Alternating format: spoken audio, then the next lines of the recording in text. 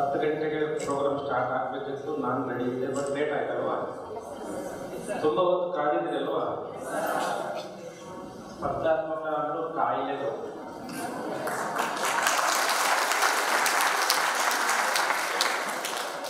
ಹಂಗೆ ಒಂದೇ ತಿಂಗಳಿಗೆ, ಒಂದೇ ವರ್ಷಕ್ಕೆ ಕೆ ಎಸ್ ಐ ಎಸ್ ಆಗ ಸ್ಪರ್ಧೆ ಅಂದಾಗ ಪೇಷನ್ಸ್ ಇರಬೇಕು ಪೇಷನ್ಸ್ ಇದ್ದಾಗ ಹಾರ್ಡ್ ವರ್ಕ್ ಬರುತ್ತೆ ಹಾರ್ಡ್ ವರ್ಕ್ ಇದ್ದಾಗ ಯಶಸ್ಸು ಬೆನ್ನತ್ತು ನೀವು ಕಾಯಕತೆ ಇರಲಿಲ್ಲ ಅಂದರೆ ಪೇಷನ್ಸ್ ಇಲ್ಲಿದೆ ಹಾರ್ಡ್ ವರ್ಕ್ ಇಲ್ಲ ಯಾವುದೇ ಸ್ಪರ್ಧಾತ್ಮಕ ಪರೀಕ್ಷೆಗಳು ಯಾರಪ್ಪನ ಮನೆ ಸೋತಲ್ಲ ಯಾವುದೋ ಒಂದು ವರ್ಗಕ್ಕೆ, ಯಾವುದೋ ಒಂದು ಹಣಕ್ಕೆ, ಯಾವುದೋ ಒಂದು ಇನ್ಫ್ಲೂಯೆನ್ಸ್ಗೆ ಸೀಮಿತವಾಗಿದ್ದಲ್ಲ. ಆ್ಯಕ್ಚುಲಿ ನಾನು ನಂದು ನಮ್ಮ ಕಜಿನ್ ಸಿಸ್ಟಮ್ ಮಗನ ಮದುವೆ ಇತ್ತು ನಾನು ಅಲ್ಲಿರೋದು ಯಾಕೆ ಇಲ್ಲಿ ಬಂದಿದ್ದೀನಿ ಅಂದರೆ ಭಾಳಷ್ಟು ಭ್ರಮೆ ಇರುತ್ತೆ ಮಕ್ಕಳಿಗೆ ಇದು ಬರೀ ಕೆಲವರಿಗೆ ಅಷ್ಟೇ ಮಾತ್ರ ಅದಕ್ಕೆ ಇನ್ಫ್ಲೂಯೆನ್ಸ್ ಬೇಕಾಗುತ್ತೆ, ಹಣ ಬೇಕಾಗುತ್ತೆ. ನಮಗೆಲ್ಲ ಆಗೋದಿಲ್ಲ, ನಾವೆಲ್ಲ ಹಳ್ಳಿಯಿಂದ ಬಂದವರು. ಬೆಂಗಳೂರು ಹತ್ರ ಟ್ರೈನಿಂಗ್ ಸೆಂಟರ್ ತುಂಬ ಇದೆ. ಬೆಂಗಳೂರು ಟ್ರೈನಿಂಗ್ ಸೆಂಟರ್ ಎಷ್ಟು ಎಷ್ಟಿದೆ ಗೊತ್ತಾ ನಿಮಗೆ ವಿಜಯನಗರದಲ್ಲಿ ಎಷ್ಟು ಟ್ರೈನಿಂಗ್ ಸೆಂಟರ್ ಇದೆ ಗೊತ್ತಾ? ಬೆಂಗಳೂರಲ್ಲಿ ಐಎಸ್ಟ್ ವಿಜಯನಗರ ಇದೆ. ಹಂಗಂದ್ರೆ ವಿಜಯನಗರ ಸುತ್ತಮುತ್ತಲ ಇರೋರೆಲ್ಲ ಐ ಎಸ್ ಕೆ ಎಸ್ ಆಗ್ಬೇಕಿತ್ತಲ್ಲ ಎಷ್ಟೊತ್ತೆ ವಿಜಯನಗರ ಸುತ್ತಮುತ್ತ ಇರತಕ್ಕಂಥ ಪ್ರತಿಯೊಬ್ಬರ ಮನೆಯಲ್ಲೂ ಒಬ್ಬರು ಐ ಎಸ್ ಕೆ ಎಸ್ ಇರ್ಬೇಕಿತ್ತಲ್ಲ. ಬೆಂಗಳೂರಲ್ಲಿ ಎಷ್ಟು ಜನ ಬರ್ತಾರೆ? I S K S north ಕರ್ನಾಟಕದಲ್ಲಿ ಐ ಎಸ್ ಪಿ ಎಸ್ ಎಷ್ಟು ಬರ್ತಾರೆ ಗೊತ್ತಿದೆಯಲ್ಲ? ಸ್ಟ್ಯಾಟಿಕ್ಸ್ ಅಂದರೆ ನಿಮಗೆ ಏನು ಭಾವನೆ ಇರುತ್ತೆ ಮಕ್ಕಳಿಗೆ ಅಂದ್ರೆ ಕೆಲವೊಂದು ಭ್ರಮೆನಲ್ಲಿ ಇರ್ತೀವಿ. ಅದು ವಿದ್ಯಾರ್ಥಿ ಜೀವನದಲ್ಲಿ ಭ್ರಮೆ ಜಾಸ್ತಿ. ಭ್ರಮೆ ಮತ್ತು ಸತ್ಯಗಳ ನಡುವೆ ಯಾರು ಡಿಫ್ರೆನ್ಶಿಯೇಟ್ ಮಾಡ್ತಾರೆ, ಅವ್ರು ಮಾತ್ರ ಯಶಸ್ಸನ್ನು ಸಾಧ್ಯ ಮಾಡೋಕ್ಕಾಗುತ್ತೆ ಭ್ರಮೆ ಅಂದ್ರೆ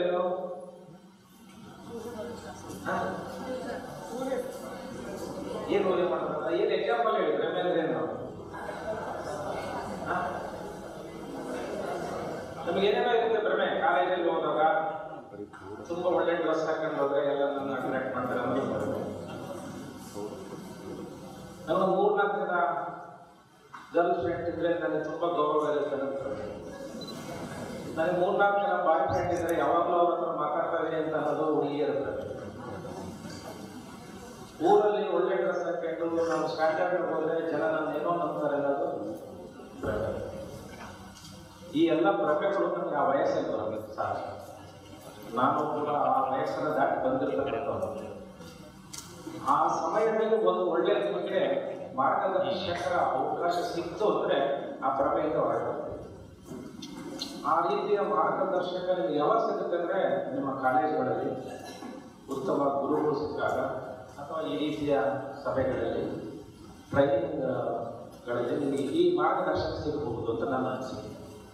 ಈ ಮಾರ್ಗದರ್ಶನ ಸಿಗದೆ ಅಂದ್ರೆ ಕೊನೆಯವರೆಗೂ ಭ್ರಮೆಯಲ್ಲೇ ಹೋಗಿ ಮುಂದೊಂದು ದಿನ ನಾವು ಮತ್ತೆ ನಮ್ದೇನು ನಿತ್ಯ ಜೀವನ ಇರುತ್ತೋ ಅಲ್ಲೇ ಸೇರ್ಕೊಂಡು ಅದನ್ನೇ ನಾವು ಅಂತ ತಿಳ್ಕೊಂಡು ಪ್ರತಿಯೊಂದು ದಿನ ಪ್ರತಿಯೊಂದಕ್ಕೂ ಕಮೆಂಟ್ ಮಾಡಕ್ಕೆ ಸ್ಟಾರ್ಟ್ ಮಾಡ್ತೀವಿ. ಅದೇ ನೋಡು ಇದೇ ಅವ್ರೇನ್ ಮಾಡ್ತಾರೆ, ಇವ್ರೇನ್ ಮಾಡ್ತಾರೆ. ಈ ಕಮೆಂಟ್ಸ್ ಸ್ಟಾರ್ಟ್ ಮಾಡಕ್ಕೆ ಸ್ಟಾರ್ಟ್ ಮಾಡ್ತೀವಿ. ಈ ವಯಸ್ಸಿನ ಮಾಡಬಾರ್ದು. ನೀವೇನಾದ್ರು ವ್ಯವಸ್ಥೆ ಬಗ್ಗೆ ಅಥವಾ ಇನ್ಯಾವ ಬಗ್ಗೆ ಕಮೆಂಟ್ಸ್ ಅನ್ನ ಯಾವಾಗ ಮಾಡ್ತಾರೆ ಐವತ್ತು ವರ್ಷ ಆದ್ಮೇಲೆ ಮಾಡಬೇಕು ನೀವು ಈಗ ಇಪ್ಪತ್ತೈದು ವರ್ಷದಿಂದ ಕಮೆಂಟ್ಸ್ ಮಾಡಕ್ ಸ್ಟಾರ್ಟ್ ಮಾಡಿದ್ರೆ ಲೈಫಲ್ಲಿ ನಿಮಗೆ ಏನು ಅವಕಾಶ ಸಿಗೋದಿಲ್ಲ ನೀವು ಮುಂದುವರಿಯಕ್ಕೆ ಸಾಧ್ಯ ಇಲ್ಲ ಅದಕ್ಕೆ ಆ ಭ್ರಮೆಯನ್ನ ಬಿಟ್ಟು ಬರಬೇಕು ಹಾಗಾದ್ರೆ ಸತ್ಯ ಯಾವುದು? ಸತ್ಯ ಯಾವುದು ಇರ್ಬೋದು ಹಾಗಾದ್ರೆ? ನೀವೀಗ ಏನು ಓದ್ತೀರಿ? ನೀವೆಷ್ಟು ಕಠಿಣ ಶ್ರಮ ಪಡ್ತೀರಿ. ಎಷ್ಟು ನಿಮ್ಮ ತಂದೆ ತಾಯಿಗಳಿಗೆ ಗೌರವ ಕೊಡ್ತೀರಿ ಮತ್ತು ನಿಮ್ಮ ಗುರುಗಳಿಗೆ ಗೌರವ ಕೊಡ್ತೀರಿ. ಅದೇ ಸತ್ಯ. ಅದೊಂದೇ ಉಳಿಯುತ್ತೆ ಕೊನೆಯವರೆಗೆ. ಉಳಿದಿದ್ದು ಯಾವುದೂ ಸತ್ಯ ಅಲ್ಲ. ಅದು ಆ ಬಂದು ಆ ವಿದ್ಯಾರ್ಥಿ ಜೀವನದಲ್ಲಿ ಓದ್ಬಿಡುತ್ತೆ ಆ ಭ್ರಮೆಯಿಂದ ನೀವು ಹೊರಗೆ ಬಂದಾಗ ನಿಮಗೆ ನಿಮ್ಮ ಜೀವನದ ರೂಪಿಸಿಕೊಳ್ಳಲಿಕ್ಕೆ ತುಂಬ ಅವಕಾಶ ಸಿಗುತ್ತೆ. ಆ ಅವಕಾಶಗಳು ಸೆಲ್ಸಿನಲ್ಲಿ ಎಕ್ಸಾಮ್ ಬರೆಯೋದಾಗಿರ್ಬೋದು ಪಿ ಯು ಅತಿ ಹೆಚ್ಚು ಸ್ಕೋರ್ ಮಾಡೋದಾಗಿರ್ಬೋದು ಡಿಗ್ರಿನಲ್ಲಿ ಅತಿ ಹೆಚ್ಚು ಸ್ಕೋರ್ ಮಾಡಲಿಕ್ಕಾಗಬಹುದು. ನಂತರ ಕೆ ಎಸ್ ವೈ ಎಸ್ ಇತರ ಸ್ಪರ್ಧಾತ್ಮಕ ಪರೀಕ್ಷೆಗಳಲ್ಲಿ ನೀವು ನಿಮ್ಮ ಜೀವನವನ್ನು ತೋರಿಸಲಿಕ್ಕೆ ಅವಕಾಶ ಇದೆ. ಹಾಗಾಗಿ ಈ ವಯಸ್ಸಿನಲ್ಲಿ ನೀವು ಎಷ್ಟು, ಬಹುಶಃ ನೀವು ನಿಮ್ಮ ಜೀವನದಲ್ಲಿ ಆರು ವರ್ಷ ನೀವೇನಾದರೂ ಕಠಿಣ ಶ್ರಮ ಪಟ್ಟರೆ ಸಿಕ್ಸ್ ಇಯರ್ಸ್ ನಾನು ಎಲ್ ಕೆ ಜಿಯಿಂದ ಡಿಗ್ರಿವರೆಗೆ ಇರಲ್ಲ ಸಿಕ್ಸ್ ಇಯರ್ಸ್ ನೀವೇನಾದರೂ ಜೀವನದಲ್ಲಿ ಕಠಿಣ ಶ್ರಮ ಪಟ್ಟರೆ ಅರುವತ್ತು ವರ್ಷ ರಾಜನಾಗಲಿಕ್ಕೆ ಅವಕಾಶ ಇದೆ. ಅರುವತ್ತು ವರ್ಷ ಇದು ಹೇಳಿಕ್ಕೆ ಅಷ್ಟೇ ಸ್ವಲ್ಪ ಸರ್, ಅದೆಲ್ಲ ಆಗಲಿಲ್ಲ ಸರಿ ಅಂತ.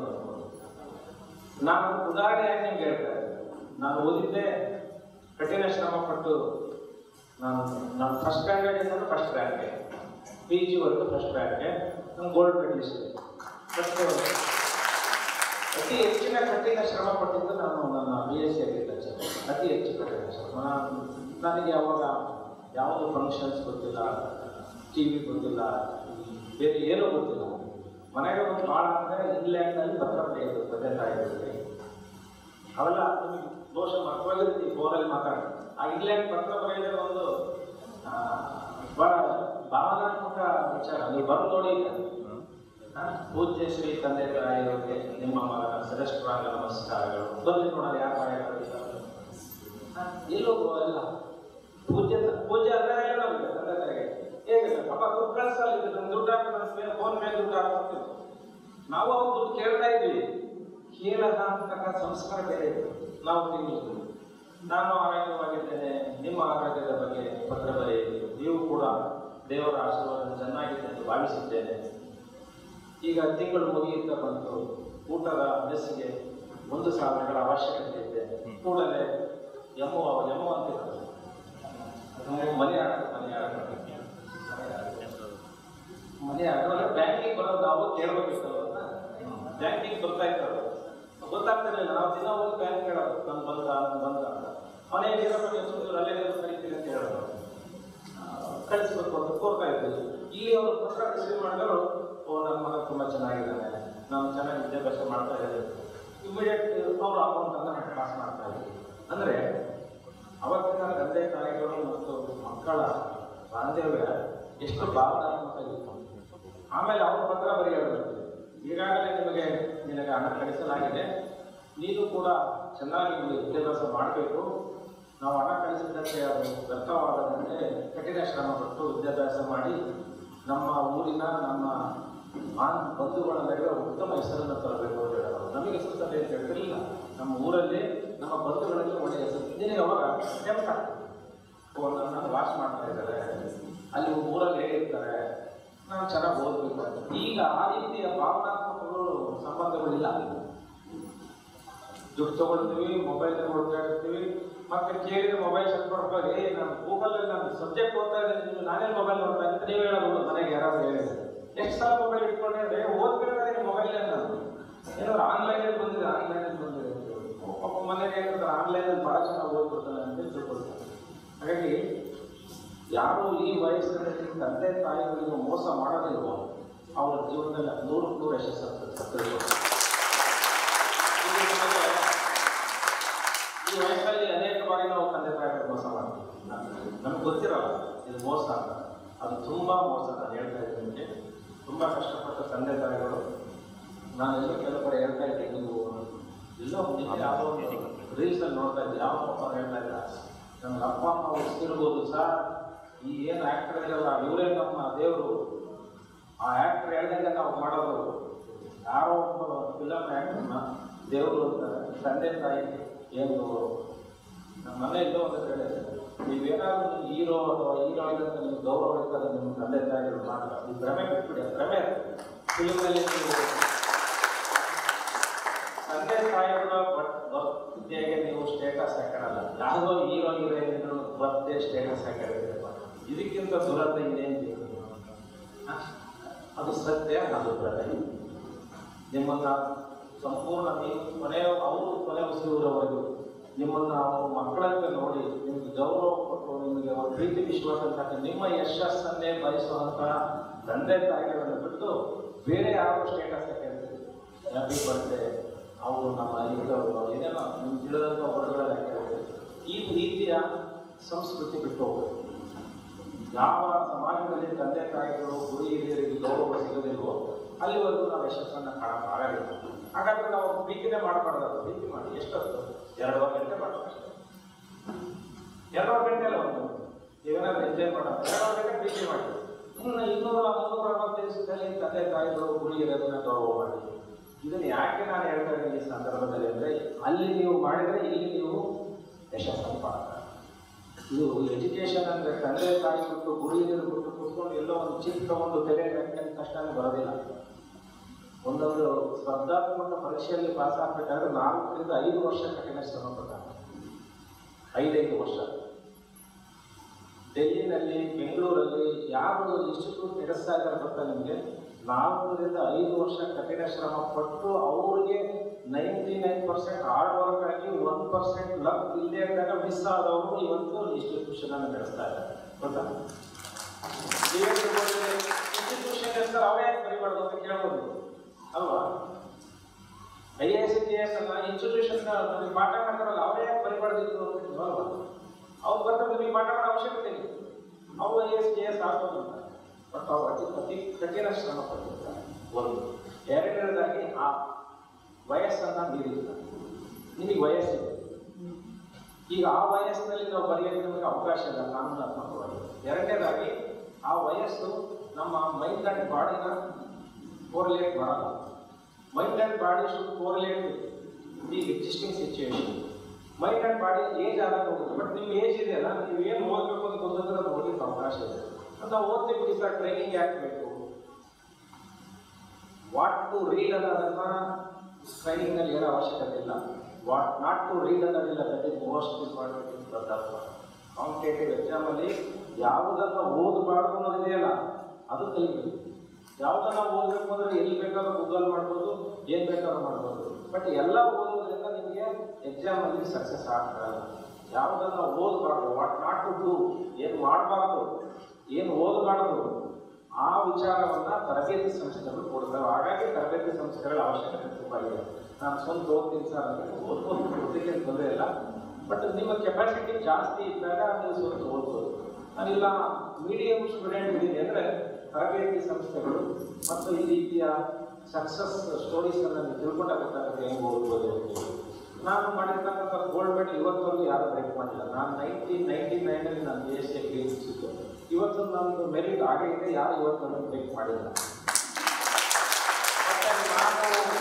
ಓದಿದಂಥ ಸ್ಕೂಲು ಕನ್ನಡ ಮಾಧ್ಯಮದ ಸ್ಕೂಲು ಹಳ್ಳಿಯ ಸ್ಕೂಲು ನಾನು ಪಿ ಯು ಸಿ ಮಾಡಿದಂಥ ಕಾಲೇಜು ಶಂಕರ್ನಾಗ್ ಅವ್ರ ಆಕ್ಸಿಡೆಂಟ್ ಆಯಿತು. ನಮ್ಮ ಕಾಲೇಜ್ ಗೇಟ್ ಲೈಬ್ರರಿ ಆಂದೋಳ ಅಂತ ಅಲ್ಲಿ ಇಪ್ಪತ್ತೆಂಟು ನಾವು ಸ್ಟೂಡೆಂಟ್ ಇಪ್ಪತ್ತೆಂಟು ಜನ ಇದ್ದೀವಿ. ಎಲ್ಲ ಇಲ್ಲೇ ಲೋಕಲ್ ಹಳ್ಳಿಗಳಲ್ಲಿ ಎಸ್ ಎಲ್ ಸಿ ಮಾಡಿದ್ರು. ಸೈನ್ಸ್ ಅಲ್ಲಿ ಒಂದೇ ಒಂದು ಕಾಲೇಜ್ ಇತ್ತು, ಇಪ್ಪತ್ತೆಂಟು ಸ್ಟೂಡೆಂಟ್ ಸೈನ್ಸ್ ಅಲ್ಲಿ. ಎಲ್ಲರೂ ಫೇಲ್ ಆದ್ರು. ನಾವೊಬ್ಬರೇ pass and first class but pass first class ಅಷ್ಟೇ ನಾವು ಅವಾಗ ನೈಂಟಿ ನೈಂಟಿ ಫೈವ್ ಮಾಡೋ ಅವಕಾಶ ಇಲ್ಲ ನಮಗೆ. ಕಡಿಮೆ ಸ್ಕೋರ್ ಬಟ್ ಆರು ಮಾಡೋದು ಹೆಂಗೆ ಅನ್ನೋದನ್ನು ನಮಗಲ್ಲಿ ಕಲಿಸ್ಕೊಡಿ ಹೆಂಗೆ ಓದಬೇಕು ಹಾರ್ಡ್ ಏನು? ಯಾವ ರೀತಿ ನಾವು ಕಠಿಣ ಶ್ರಮ ಹಾಕಿದ್ರೆ ಆಗುತ್ತೆ ಅದೇ ರೀತಿ ನಾನು ಬಿ ಎಸ್ ಸಿ ಹೋದಾಗ ಅಲ್ಲಿ C B S C students ಇದ್ದರು ಮತ್ತು ನವೋದಯ ಸ್ಟೂಡೆಂಟ್ಸ್ ಇದ್ದರು ನಾನು ನವೋದಯ ಸ್ಕೂಲ್ಗೆ ಹೋಗಿದ್ದೆ ಮೊನ್ನೆ, ನಾನು ಅಧ್ಯಕ್ಷ ನವೋದಯ ಚೇರ್ಮನ್ ನಾನು ನವೋದಯ ಸಿಕ್ಸ್ ಸ್ಟ್ಯಾಂಡರ್ಡಲ್ಲಿ ಬರೆದಾಗ ನನಗೆ ಸಿಗಲಿಲ್ಲ ನವೋದಯ. ಇವತ್ತು ನಾನು ನವೋದಯ ಸ್ಕೂಲ್ ಚೇರ್ಮನ್ ಸ್ಟೂಡೆಂಟ್ ಹೇಳಿದೆ ನಾನು ನಿಮಗಿಂತ ದಡ್ಡ ಅಂತ ಅವರು ಸ್ಟೂಡೆಂಟ್ ಯಾಕೆ ಸರ್ ಅಂತಂದ್ರು ನನಗೆ ನವೋದಯ ಸಿಗಲಿಲ್ಲ, ನಿಮ್ಗೆ ಸಿಕ್ಕಿದ ಓದ್ತಾ ಇದ್ದೀನಿ ಮತ್ತೆ ಯಾರು ಜಾಣರು ಅವಕಾಶ ನನಗೆ ಸಿಗಲಿಲ್ಲ, ನಾನು ಆ ಹಳ್ಳಿನಲ್ಲಿ ಓದ್ತಾ ಇದ್ದೆ, ನನಗೆ ನವೋದಯ ಸಿಗಲಿಲ್ಲ ಅಷ್ಟೇ. ಬಟ್ ಅವಾಗ ಸಿಗಲಿಲ್ಲ ಅಂತ ಹೇಳಿ ನಾನು ಹಿಂದೆ ಸರಿಲಿಲ್ಲ ಮತ್ತೆ ಹಳ್ಳಿನಲ್ಲೇ ಎಸ್ ಎಲ್ ಸಿ ಮಾಡಿದೆ. ಹಳ್ಳಿನಲ್ಲೇ ಪಿ ಯು ಸಿ ಮಾಡಿದೆ. ಬಿ ಎಸ್ ಸಿ ನನಗೆ ಮೆರಿಟ್ ಸಿಕ್ತು. ನಾನು ಮೆರಿಟ್ ಯಾವಾಗಲೂ ಮೆರಿಟ್ ಸ್ಕಾಲರ್ಶಿಪ್ ನಾನು ಹೋಗ್ಬೇಕಾದ್ರೆ ಎಂಟುನೂರು ರೂಪಾಯಿ ಮೆರಿಟ್ ಸ್ಕಾಲರ್ಶಿಪ್ ನಮ್ಗೆ ಆ ವರ್ಷ ಎಂಟುನೂರು ರೂಪಾಯಿ ಮೆರಿಟ್ ಪ್ರತಿ ವರ್ಷ, ಪ್ರತಿ ತಿಂಗಳು. ಪ್ರತಿ ತಿಂಗಳು ಮೆರಿಟ್ ಸ್ಕಾಲರ್ಶಿಪ್ ಬರ್ತಾ ಇದೆ. ಆ ಮೆರಿಟ್ ಸ್ಕಾಲರ್ಶಿಪ್ಪನ್ನು ನಾನು ಹಾಗೆ ಇಟ್ಕೊಳ್ತಾ ಇದ್ದೆ ಸೇವಿಂಗ್ ಆಗಿ. ಈ ರೀತಿಯಾಗಿ ನಿಮಗೆ ಮೆರಿಟ್ ಸ್ಕಾಲರ್ಶಿಪ್ ಆಗಲಿ ಮೆರಿಟ್ ಆಗಲಿ ಬರೋದು ಯಾರಿಂದ ಬರುತ್ತೆ? ಯಾರಿಂದ ಅದು ನೀವೇ ಪ್ರಯತ್ನ ಮಾಡಿ. ಆ ಪ್ರಯತ್ನ ಮಾಡಲಿಲ್ಲ ಉದ್ದೇಶಕ್ಕೆ ನಾವು ಇವತ್ತು ನಿಮ್ಮನ್ನು ಕರೆಸಿ. ನಿಮ್ಮಲ್ಲಿ ನನಗೆ ಈಗ ಹತ್ತು ಸಾವಿರ ಜನ ಸೇರಿಸಿ ಭಾಷಣ ಮಾಡೋದು ಬೇಕಾಗಿಲ್ಲ ಅಂತ ಹೇಳಿದ್ರು ಶಾಸಕ ಯಾರಿಗೆ ಅವಶ್ಯಕತೆ ಇದೆ ಅವ್ರಿಗೆ ಟ್ರೈನಿಂಗ್ ಕೊಡಿ. ಟಾರ್ಗೆಟ್ ಅಲ್ಲ ಇದು. ತರಬೇತಿ ಪ್ರೋಗ್ರಾಮ್ಗಳು ಯಾವತ್ತು ಟಾರ್ಗೆಟ್ ಗುರಿ ನಿಗದಿ ಮಾಡಿದ್ರು ಅವಶ್ಯಕತೆ ಪೂರ್ಣವಾಗಿ ಮಾಡಬೇಕು. ಇವತ್ತು ಯಾರಿಗೆ ಅವಶ್ಯಕತೆ ಇದೆ ಅವ್ರು ಬಂದಿದ್ದೀವಿ ಇದರಲ್ಲಿ ನಮಗೆ ಹತ್ತು ಜನ ವಿಜಯನಗರ ಜಿಲ್ಲೆಯಿಂದ ಸ್ಪರ್ಧಾತ್ಮಕ ಪರೀಕ್ಷೆಗಳಲ್ಲಿ ಅತ್ಯುತ್ತಮ ರ್ಯಾಂಕ್ ಕೊಟ್ಟರೆ ಅದು ನಮ್ಮ ಜಿಲ್ಲೆಗೆ ಹೆಮ್ಮೆ ಮತ್ತು ನಮ್ಮ ಜಿಲ್ಲಾಡಳಿತಕ್ಕೆ ಹೆಮ್ಮೆ ಅಂತ ಹೇಳಿ ಇಷ್ಟಪಡ್ತೀನಿ. ಹಾಗೆ ಇನ್ನು ಉಳಿದವರು ಎಷ್ಟು ಜನ? ಮತ್ತು ಅವರೇ ಮಾಡಬೇಕು? ಅನೇಕ ಅವಕಾಶಗಳಿವೆ. ನೀವು ಸ್ಪರ್ಧಾತ್ಮಕ ಪರೀಕ್ಷೆಗಳನ್ನು ಬರೆಯೋದ್ರಿಂದ ಕಾಮನ್ ಸೆನ್ಸ್ ಬರುತ್ತೆ. ಬಹಳ ನೀವು ವಿಚಾರ ಅಂದರೆ ಯಾರು ಸ್ಪರ್ಧಾತ್ಮಕ ಪರೀಕ್ಷೆ ಬರೀ ನಿಮಗೆ ಕಾಮನ್ ಸೆನ್ಸ್ ಬರುತ್ತೆ. ಎಲ್ಲೋ ಕುತ್ಕೊಂಡು ಏನೋ ಕಮೆಂಟ್ ಮಾಡಲ್ಲ.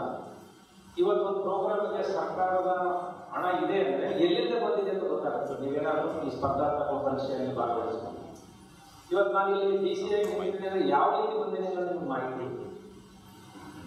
ಇವತ್ತು ಒಂದು ರೋಡಲ್ಲಿ ಏನೋ ಒಂದು ಆಕ್ಸಿಡೆಂಟ್ ಆಗುತ್ತೆ ಅದಕ್ಕೊಂದು ಪರಿಹಾರ ಸಿಗುತ್ತೆ ಯಾವ ಪ್ರಕಾರ ಸಿಗುತ್ತೆ. ಕುಡಿಯೋ ನೀರು ಯಾವ ರೀತಿ ರೀಚ್ ಆಗ್ತದೆ. ಹಳ್ಳಿದಲ್ಲಿ ಇರ್ತೀವಿ.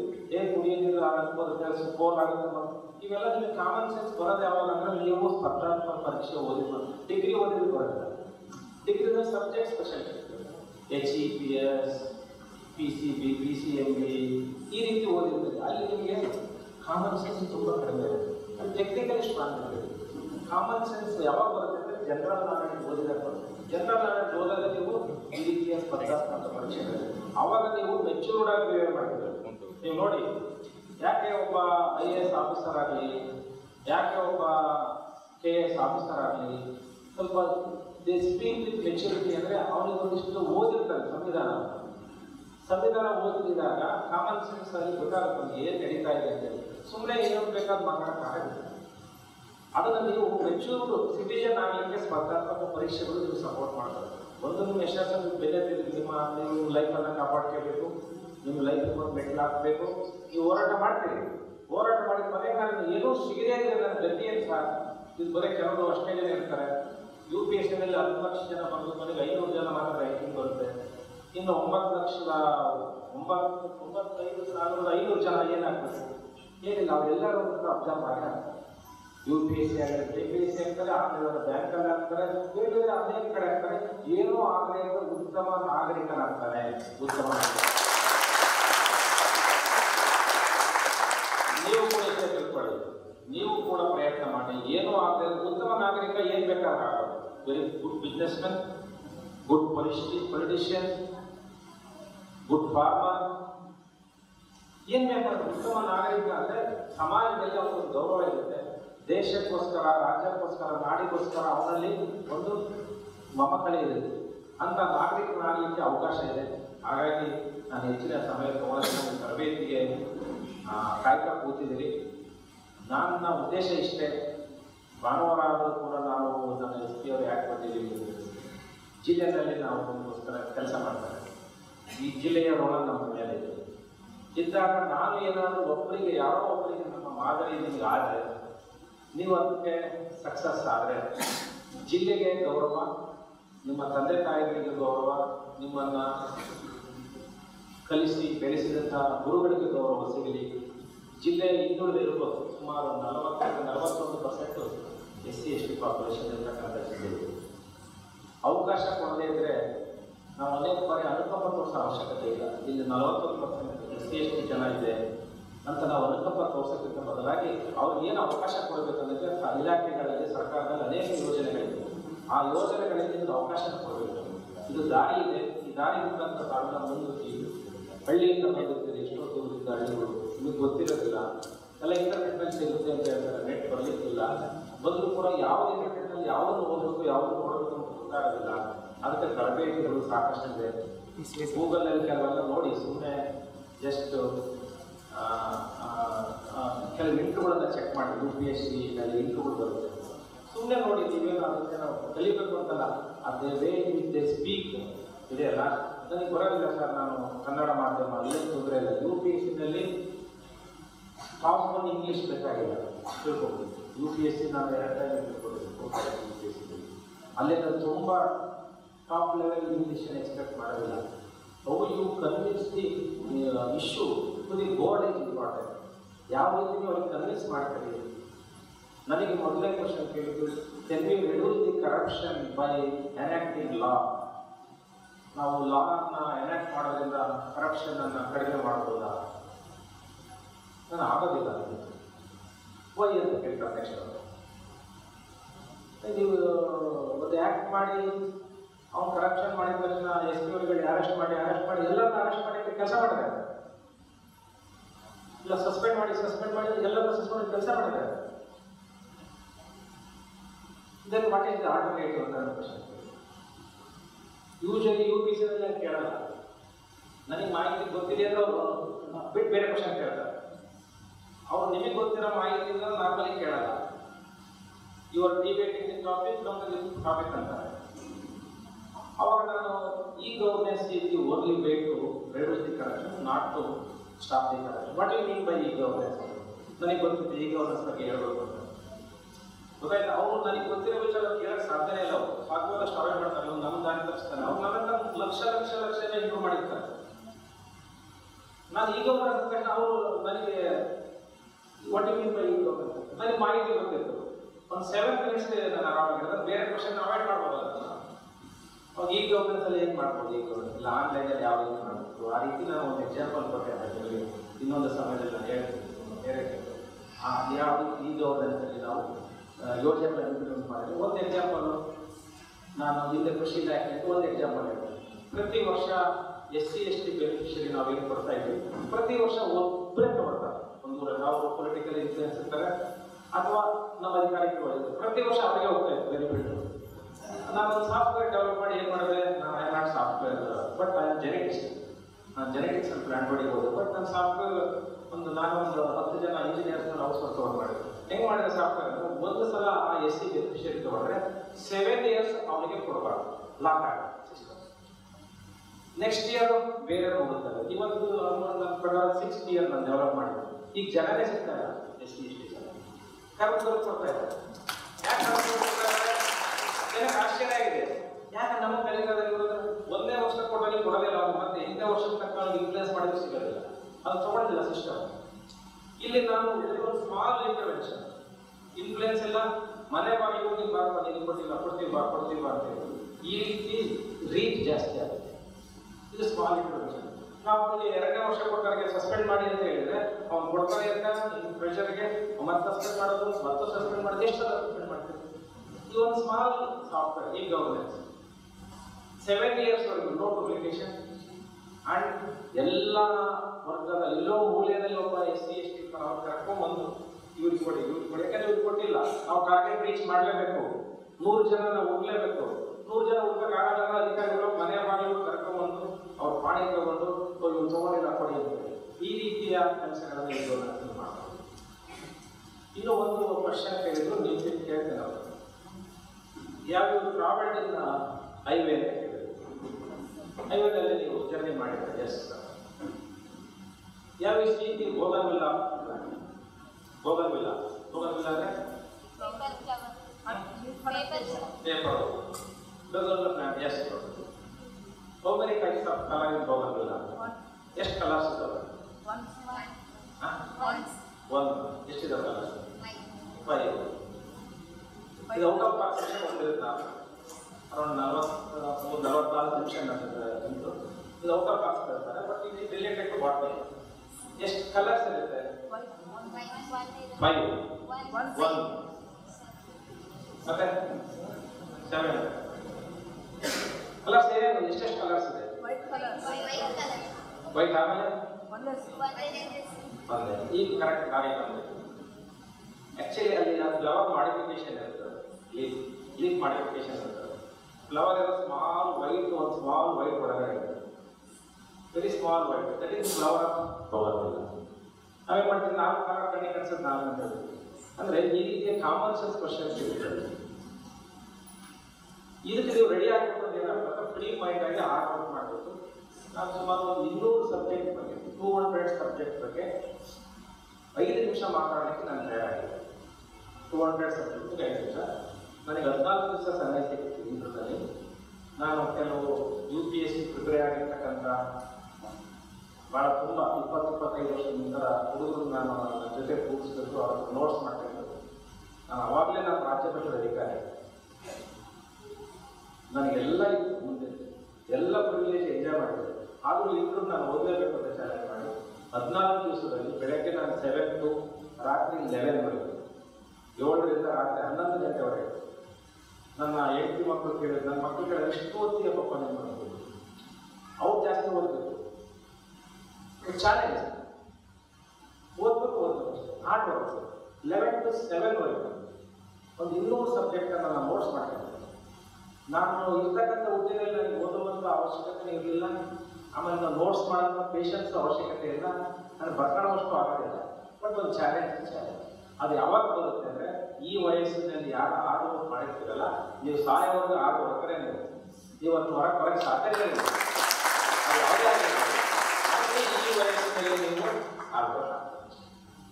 ಈ ವಯಸ್ಸಲ್ಲಿ ಆಡ್ಬೇಕು ಮಾಡಿದ್ರೆ ಕೊನೆಯವರೆಗೂ ನೀವು ಆಡ್ಬೇಕು ಈಗಲೂ ನಾನು ಇದೀನಲ್ಲ ನೀವೇನಾದರೂ ಬೇಡಿ ನಾನು ಓದ್ಬೋದು ಒಂದು ಬುಕ್ ಕೊಡಿ. ಒಂದು ಸರಿ ಬುಕ್ ಕೊಡಿ. ನೀವು ಕಾಂಪ್ಲೀಟ್ ಮಾಡ್ತೀನಿ ಅಂತ ನನ್ನ ಕಾನ್ಫಿಡೆನ್ಸ್ ಯಾಕೆಂದ್ರೆ ಅವತ್ತು ನನಗೆ ಆಟ ಹೊಡ್ಕೊಂಡು ನನಗೆ ಪಾಠ ಕಲಿಸ್ತೀನಿ. ಕಾನ್ಫಿಡೆನ್ಸ್ ಇದೆ. ನಾನು ನೀವು ಕಾಂಪೀಟ್ ಮಾಡ್ಕೊಂಡು ನಿಮಗಿಂತ ಕಡಿಮೆ ಮಾರ್ಕ್ಸ್ ತೆಗೆದುಕೊಂಡು ಜಾಸ್ತಿ ಸೆಕೆಂಡರಿ ಬಟ್ ಕಾನ್ಫಿಡೆನ್ಸ್ ಇದೆ. ನಿಮ್ಮನ್ನು ನಾನು ಬೀಟ್ ಮಾಡ್ತೀನಿ. ಆ ಕಾನ್ಫಿಡೆನ್ಸ್ ಇದ್ರೆ ಮಾತ್ರ ಸ್ಪರ್ಧಾತ್ಮಕ ಪರೀಕ್ಷೆ ಬರೆಯೋಕ್ಕೆ ಸಾಧ್ಯ. ನೀವು ಇಲ್ಲೇ ಇನ್ನೊಂದು ಲಾಸ್ಟ್ ಹೇಳ್ಕೊಡ್ತೀನಿ ಕಾಂಪಿಟೇಟಿವ್ ಎಕ್ಸಾಮಲ್ಲಿ ಬೇರೆಯವರ ವೀಕ್ನೆಸ್ ನೋಡ್ಕೋಕ್ಕಾಗಲ್ಲ ನಿಮ್ಮ ಸ್ಟ್ರೆಂತ್ ನೋಡ್ಕೋಕ್ಕಾಗಲ್ಲ ಭಾಳ ಸಲ ಏನು ತಿಳ್ಕೊಂಡಿದ್ದೀರಿ ಒಂದು ಹತ್ತು ಲಕ್ಷ ಜನದಲ್ಲಿ ಐನೂರು ಜನ ಮಾಡ್ತಾರೆ. ಆ ಒಂಬತ್ತು ಲಕ್ಷದ ತೊಂಬತ್ತೈದು ಸಾವಿರದ ಐನೂರು ಜನ ವೀಕ್ ಇದ್ದಾರೆ ಅಂತ ಯೋಚನೆ ಮಾಡಬಾರ್ದು. ಐನೂರು ಜನ ಸ್ಟ್ರೆಂತ್ ಬಗ್ಗೆ ಮಾತಾಡಬೇಕು. ಸ್ಪರ್ಧಾತ್ಮಕ ಪರೀಕ್ಷೆಯಲ್ಲಿ ಎದುರಾಳಿಯ ಎದುರಾಳಿಯ ವೀಕ್ನೆಸ್ ಅನ್ನ ಮುಗಿಸ್ಬಾರ್ದು. ನಿಮ್ಮ ಸ್ಟ್ರೆಂತ್ ಅನ್ನ ಐಡೆಂಟಿಫೈ ಮಾಡಬೇಕು. ಆ ಸ್ಟ್ರೆಂತ್ ಬರಬೇಕು ಅಂದ್ರೆ ನಿಮ್ಮಲ್ಲಿ ಕಾನ್ಫಿಡೆನ್ಸ್ ಬರಬೇಕು ಕಾನ್ಫಿಡೆನ್ಸ್ ಬರಬೇಕು ಅಂದ್ರೆ ಕಠಿಣ ಶ್ರಮ ಆಗ್ಬೋದು ಕಠಿಣ ಶ್ರಮಕ್ಕೆ ದಾರಿ ಏನಂದರೆ ಅನೇಕ ತರಬೇತಿಗಳು ಒಳ್ಳೆಯ ಮಿತ್ರರ ಸಹವಾಸ ಒಳ್ಳೆಯ ಬುಕ್ಸ್ಗಳನ್ನು ಓದುವಂಥದ್ದು ಮತ್ತು ಒಂದು ನೀವು ತ್ಯಾಗ ಮಾಡಬೇಕಾಗುತ್ತೆ. ಏನು ತ್ಯಾಗ ಮಾಡಬೇಕಾಗುತ್ತೆ?